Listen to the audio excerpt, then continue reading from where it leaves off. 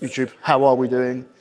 Today's video, we're gonna run through three hip hinge variations and how to do them and where you could potentially have them in your plan and where you potentially wouldn't have them in your plan. So the three movements we're gonna run through is the RDL, the stiff leg deadlift, and the conventional deadlift.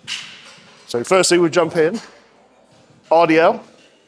The beauty of the RDL is the range of motion is less than either deadlift. Deadlifts are from the floor, RDL is not.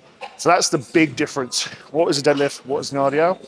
RDL does not travel to the floor, so it's a lot more load at all times going through the body.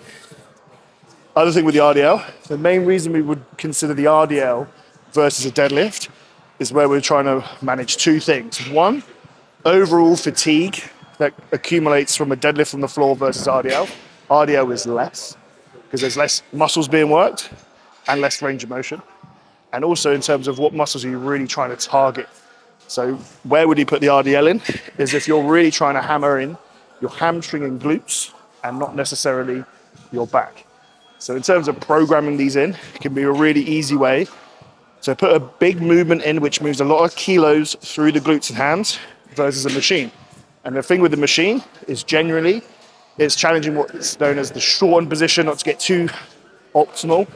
Hamstring curl, we curl, it gets harder as we come in. Whereas with the RDL, it's the hardest point here, so it's a really unique challenge for your glutes and hams. So we'll just go through and so, so I'll give you a couple of touch points to consider with your movement as well.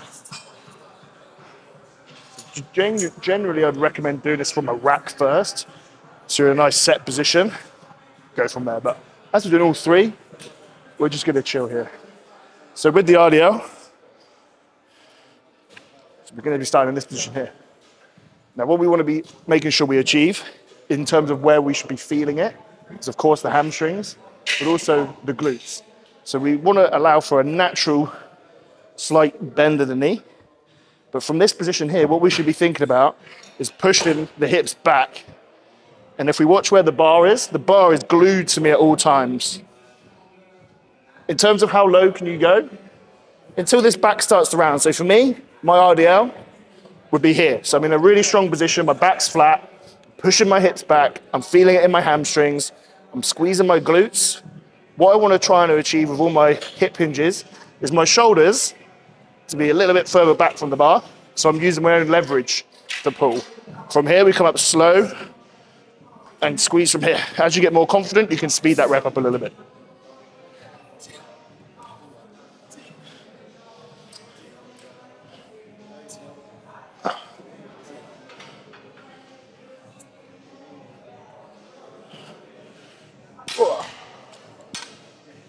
So, RDL boxed off, just like that. Now we're going to move on to the stiff leg deadlift next.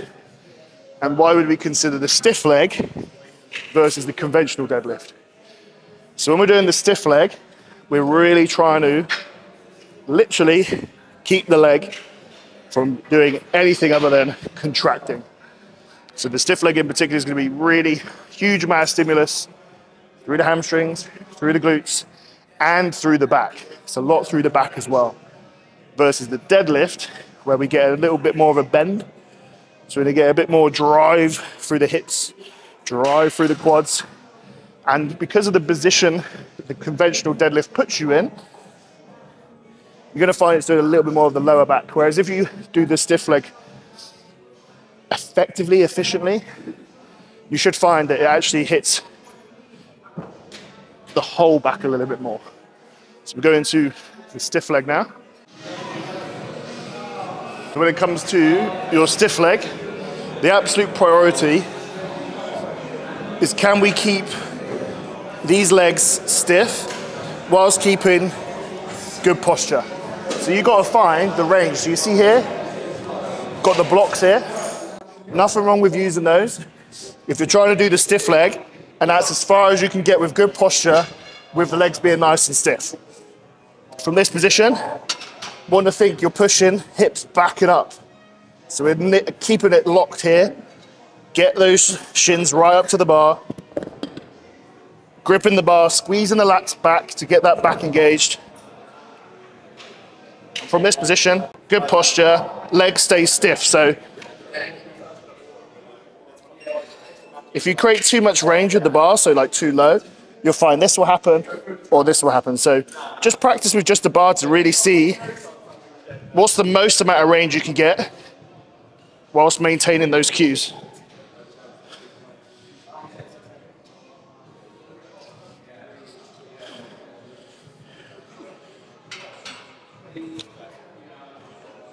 Stiff leg, box off. So lastly, onto the conventional deadlift. So for this, we're trying to just think, what's the strongest possible position we can be in? And just ripping that way up as best as we can. So we keep it on the blocks. Again, blocks can be a useful asset. If you can't get into your conventional deadlift position, which if we take a look here, we have a bend through the knee into the hip. The back is matching pretty much that angle just be from the blocks to be safe. If you have to go into this position, I would just elevate the blocks. So the deadlift is all about leverage. This is the same with the RDL, same with the stiff leg. We want to use our own body's leverage to move the weight as much as we can. So if we use the analogy of like, imagine you're, you're pulling weeds out of the garden. In order to get those weeds out, we'd grip and we'd lean back in order to move the load. So keep that in mind with your deadlift as well, right? And how we initiate our own leverage to move the, the load back comes from the lats. As soon as you think straight bar pull down, you're gonna start using your own leverage naturally. It's just gonna pull you back a little bit.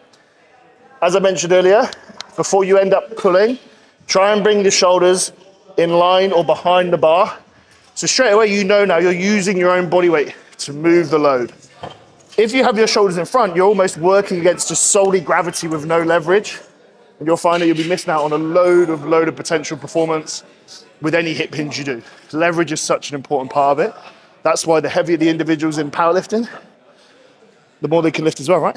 So conventional, benefits of conven conventional in you're programming, all round hypertrophy of the back, really moving as much load. We're gonna be using the lower back a little bit more just naturally for how this position sort of takes us.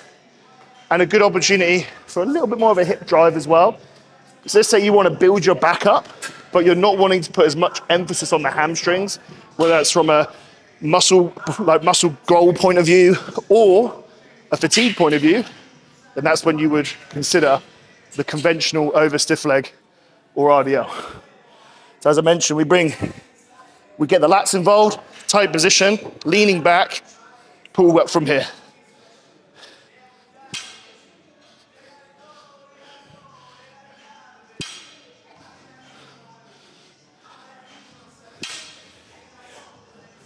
And there we go. RDL, stiff leg, conventional. If you found it useful, let us know in the comments with a little like, and I will see you in the next one.